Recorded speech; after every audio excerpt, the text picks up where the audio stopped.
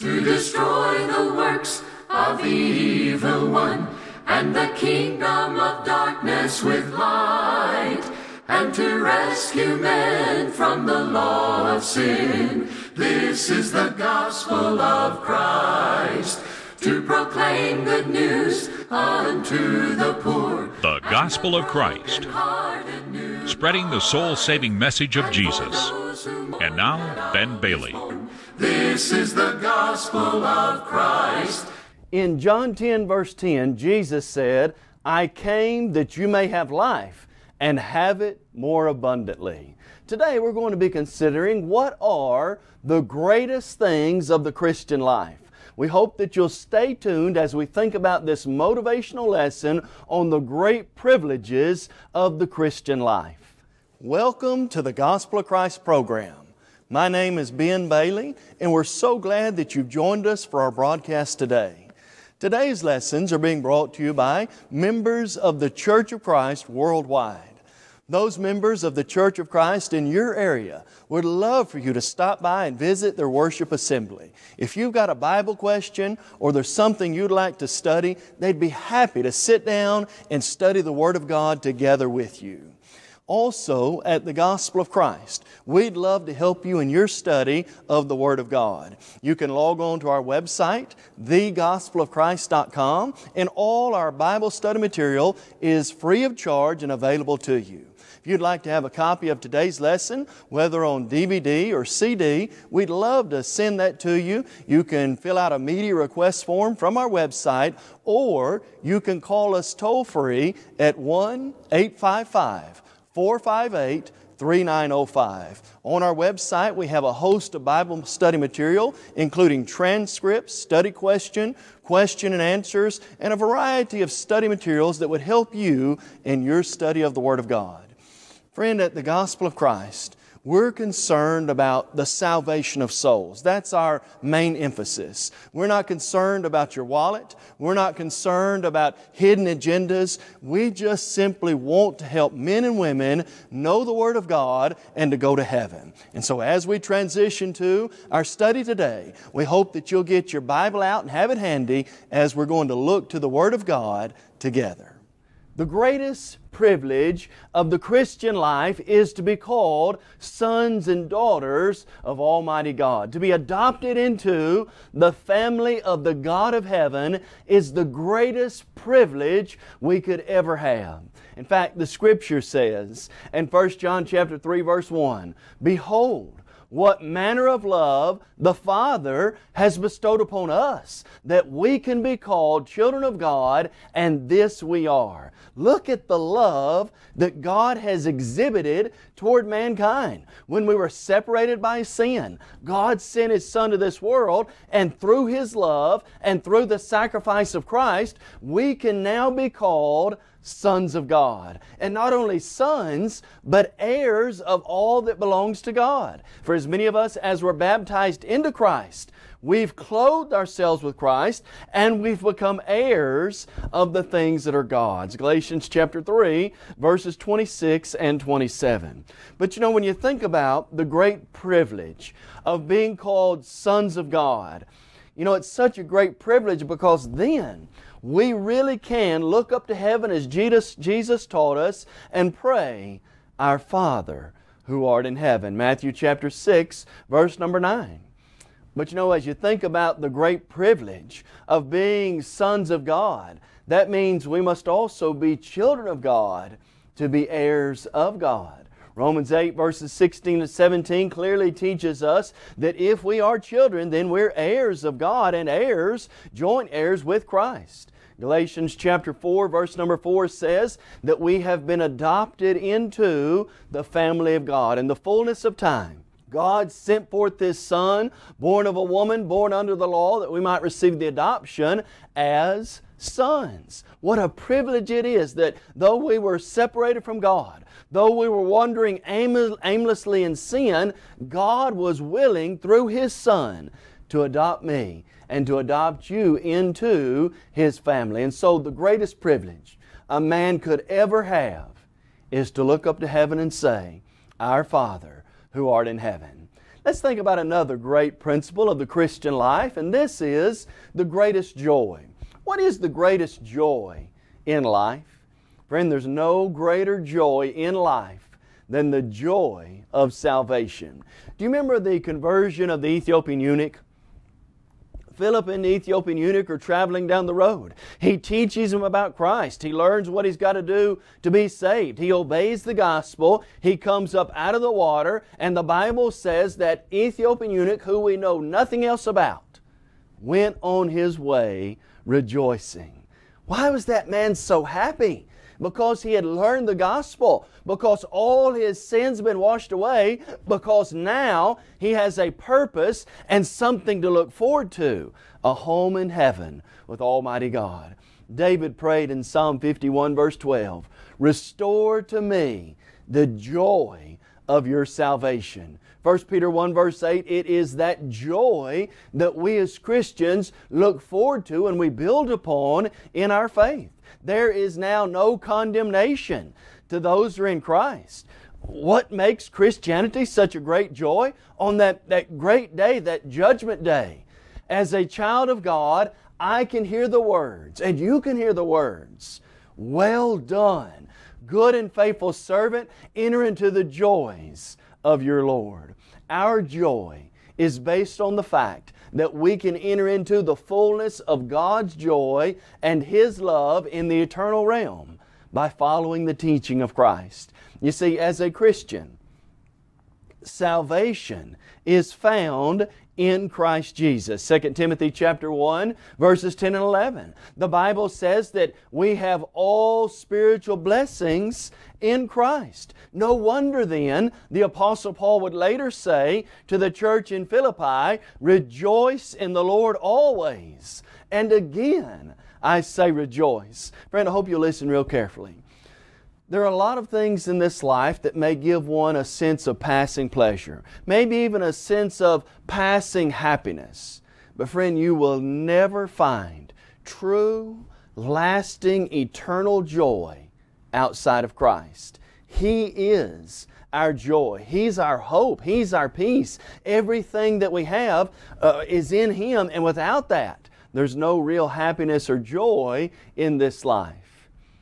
Then I want us to think about another great aspect of the Christian life, and it's this the greatest fellowship, joining together in communion that Christians have in this life is with Christ and other Christians. Now, to fully understand this, we've got to realize that before Christ, we weren't in communion with God or Christ. The Bible says in Isaiah 59, verses 1 and 2, that our sins had separated us from Almighty God. We had been severed from Christ, Galatians 5 verse 4, by sin. And we had no brotherhood or fellowship outside of this world, which is passing away. And yet the Bible says, of those who obeyed the gospel in Acts chapter 2, they continued steadfastly in the apostles' doctrine, fellowship, breaking of bread, and in prayers. Acts 2, verse 42. We have that, that joint effort, that communion, that closeness with Christ and other Christians. And friend, that's an encouragement because we know we're not in it alone.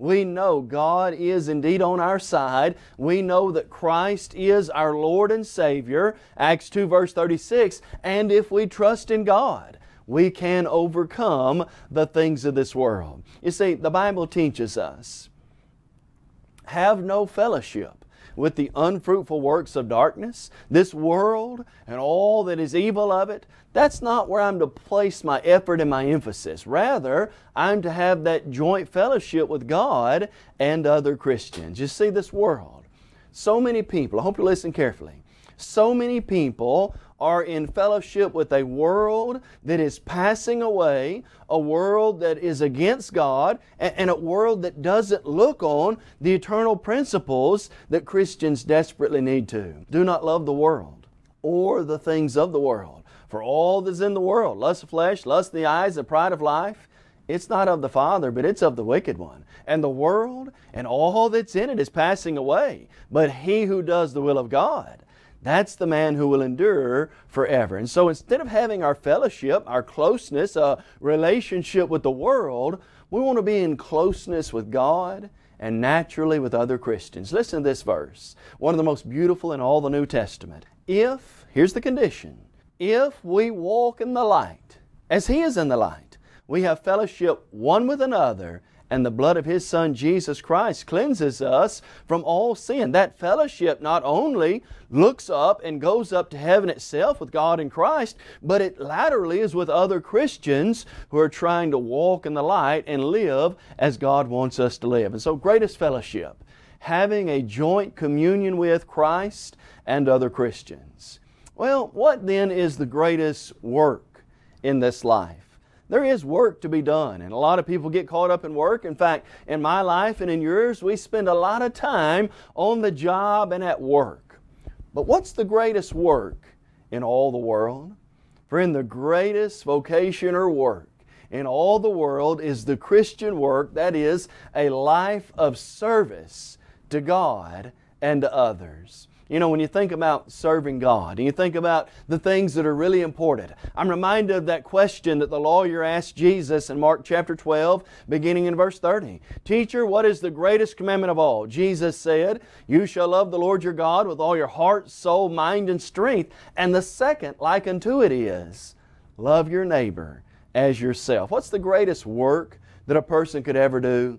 Working in the kingdom of God, seeking first the kingdom of God. Matthew chapter 6, verse 33. Being busy about the Father's business. Jesus in Luke chapter 2, about verses 49 through 52, was questioned by his parents. Why did you leave the caravan? Why did you go and do these things? And, and he was in the temple listening and hearing what they were saying. And so when they questioned Jesus, Why did you do this?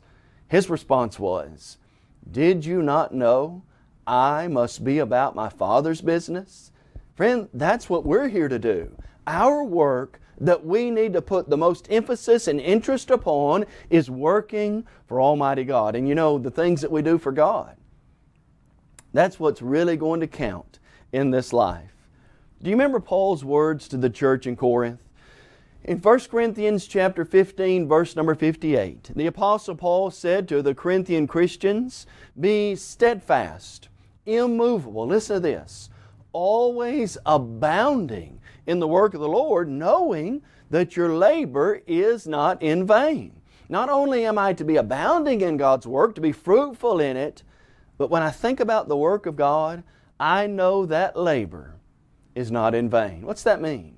The things I do for God and for Christ and to serve others in this life, those are the things that are really important and really of esteemed principled importance in my life and yours. Think about Jesus' words in Mark chapter 10, verse number 45. For the Son of Man came not to be served, but to serve and to give His life a ransom for many. Now, friend, I just want you to think about your life. Let's think about our own lives for just a moment and, and all the work, all the effort, all the toil, and all the labor that we do. How much of that is for God? How much work are we really doing in the kingdom for the cause of Christ and to promote God and the gospel? You know, Christians sing the beautiful hymn I will work, I will pray, I will labor every day. We sing that. We believe that but are we really doing that every day in our Christian life? Let's then think about another great thing about the Christian life, and we ask this what's the greatest knowledge that a person could have in this life? And friend, the answer is the greatest knowledge in life is to know God and His Son, Jesus Christ. In fact, did you know, listen very carefully, did you know that knowing God is what eternal life is all about.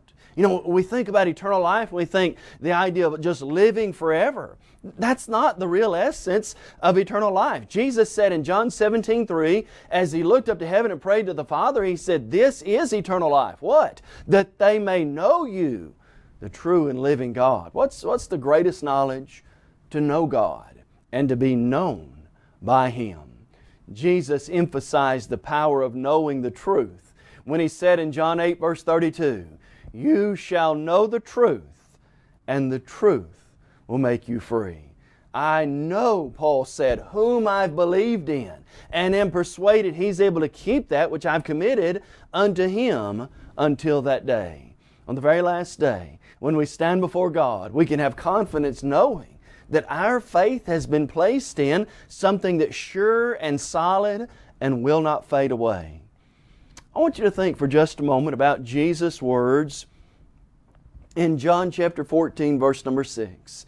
As Thomas said to the Lord, Jesus had just told them, I'm about to go away. Where I'm going, you cannot come at this time. And Thomas said, Lord, we don't know where you're going. How can we know the way, in essence?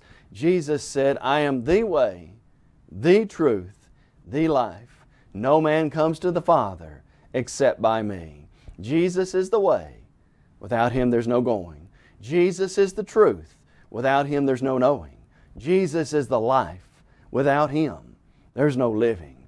Do you see the greatest things of this life include knowing God and knowing His Son Jesus Christ? But friend, as we talk about knowing God and knowledge of Him, it, it isn't enough just to say, well, I know the facts. Knowing involves keeping God's commands and being approved by God by the life that we live. You know, when we, we say we know someone, it, it creates the idea of a, a, relationship, it creates the idea of some kind of uh, communion and fellowship involved in that. And the same is true of God and Christ. If I'm to know God, it requires more than just the facts. It requires me to submit to and obey the will of God. Jesus said this in Matthew chapter 7, verse number 21. Jesus said, It's not everybody that looks up into heaven and says, Lord, Lord, that's going there, but he who does the will of my Father in heaven. Friend, it is essential that more than just paying lip service to Christ, I obey Him. Jesus said to the Jewish elite in Luke 6:46, "Why do you call me Lord, Lord, and do not do the things which I say?"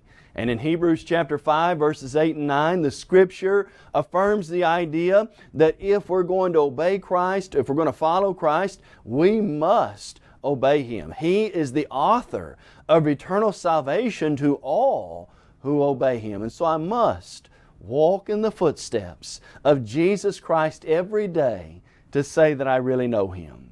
Well, let's think about another great thing about the Christian life. As we think about motivational, encouraging ideas from the Christian life, let's realize the greatest victory in life is to overcome self and this old world. Friend, the struggles that I face and the struggles that you face often deal with self and often deal with the temptations of this world.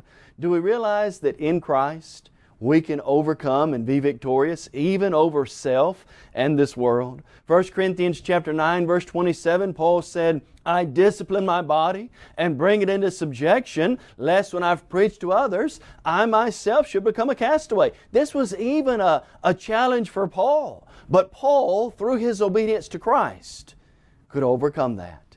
And friend, the same is true for us. We might at times say, like Paul, the very things I, I don't want to do, Sometimes those are the things I do. The very things I do want to do, sometimes those are the very things that go undone. Yes, it's a fight, it's a battle. But in Christ, we can have the greatest victory ever. You know, when I think about that victory, there is a key to that victory. And it's found in 1 John chapter 5 verse 4. This is the victory we have, even our faith. What's that mean? When I think when I think about having the victory, when I think about overcoming self, overcoming sin, overcoming this world, it all happens based on my faith and my trust in God. If faith comes by hearing, and hearing by the Word of God, Romans 10 17, then my faith in Christ, trusting Him implicitly, will help me to win the battle and be victorious. Thus we can say, as Paul so beautifully elaborated, thanks be to God who gives us the victory through our Lord Jesus Christ. And so, as a Christian, friend, you've got the greatest victory in all the world. Let's then think about another item that is so encouraging about the Christian life, and that is the greatest gift. What's the greatest gift in this life? Well, you can probably imagine the greatest gift ever given was given by God. The greatest gift in this life is to give oneself unto God and of course to others. Now, we see that in the prime example of our Lord and Savior. You remember the passage very well. John 3, verse 16.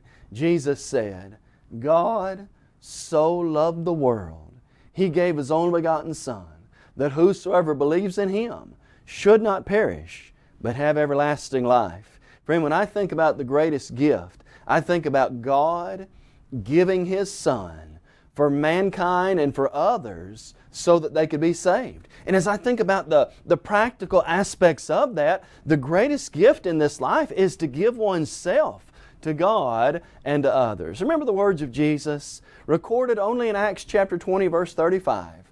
The Lord said, It is more blessed to give than it is to receive. You know, we can all understand that. It makes you feel better. Rather, maybe than at a time of giving, for you to receive a lot of gifts, the more you mature and the more you grow, it makes you feel better to give, to do good to others, to help out, and especially as it relates to the cause of Christ. In fact, of the Macedonians, it was clearly said in 2 Corinthians 8, verses 1 through 5, that they first gave themselves unto the Lord. Here's a group of people who, before they put the first dollar in the collection plate, made up their mind. The greatest gift ever is not what we put in monetarily, but giving ourselves unto God. Jesus said, Give, and it'll be given to you. Good measure, pressed down, shaken together, and running over will men put back into your bosom. Luke chapter 6, verse number 38. And so let's think about sacrifice. Let's think about giving. Let's not look, we live in a me generation. But that me generation will never make us happy. Giving to God and giving to others and serving them. That's the greatest gift that a person could ever have in this life. And so when we think about great things, how important indeed that is. But friend, as we think about great things, it's also important for us to emphasize the greatest loss in this life would be one soul. Oh, there are great things about Christianity, but friend, let's realize that it would be horrible. It would be a tragedy. It would be the greatest loss ever if one were to lose his soul. Do you remember the words of Jesus in Mark chapter 8, verses 36 and 37? Jesus asked two rhetorical questions. What will it profit a man if he gains the whole world and loses his own soul? Or what shall a man give in exchange for his soul? My soul and your soul is the most important thing ever. And friend, to lose that, to put selfishness, to put worldly interest, to let the devil into my life and have his way with it, that would be the greatest, most horrible loss you could ever imagine. Let me give you an illustration. Luke chapter 12, about verses 15 through 21. There was a man there who had a, a great harvest, great crop year, we might say. So much so that he said to himself, uh, So you've got many goods laid up for many years. Take it easy, eat, drink, and be merry. In essence, he said, I'll, I'll tear down my barns and build bigger barns. That he did. But you know what thing he left out? Jesus said to that man, You fool, this night will your soul be required of you. Then whose things will those be whom you have acquired? So is he who is rich but not toward God. Friend, the greatest loss, the absolute most horrible, devastating loss ever, is the loss of someone's soul. Now, I hope you'll listen real carefully to these words. Each of us possess a soul. That soul is going to live somewhere forever. Now is the time that I have opportunity and the ability to do something about it. If I squander that time, if I if I, I, don't take action, if I ignore it, if I say to myself, I'll deal with it later, and the chance and opportunity never came, can you imagine what a horrible, horrible loss that would be? Think about it this way. Let's say that you said to yourself, I, I've heard the gospel, I believe in the gospel, I want to become a Christian, and one day in the near future, I'm going to do that. And you, you said to yourself, and you even made a promise, I'm going to become a Christian one day. And before that day came, your life was snuffed out. Can you imagine a greater loss in all the world than that? Your soul and my soul is the most important thing that we have in this life. But then, along those same lines, I want us to think about one of the greatest neglects in this life, and that is the neglect of salvation. Listen to Hebrews chapter 2, verse number 3. How shall we escape if we neglect so great a salvation? You know, all of us from time to time are, are prone to neglect things. Maybe we neglect our chores, maybe neglect mowing the yard because it's hot outside. Maybe you neglect doing some chores in the house. Maybe you even neglect doing a few things at work. And, and we could probably skate by with neglecting those things if we're careful. But if you neglect salvation, you have neglected something that is of eternal importance. And listen again to that question How shall we escape if we neglect so great a salvation?